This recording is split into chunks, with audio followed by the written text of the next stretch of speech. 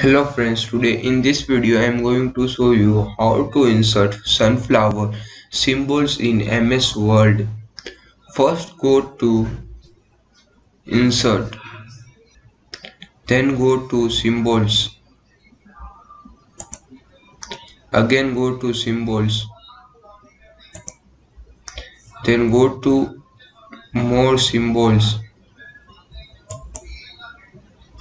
then font select this one subset select this one and character code type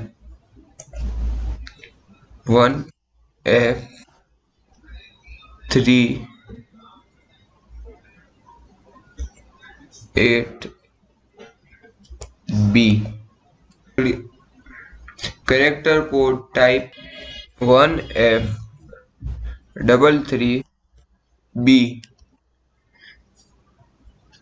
Then click insert.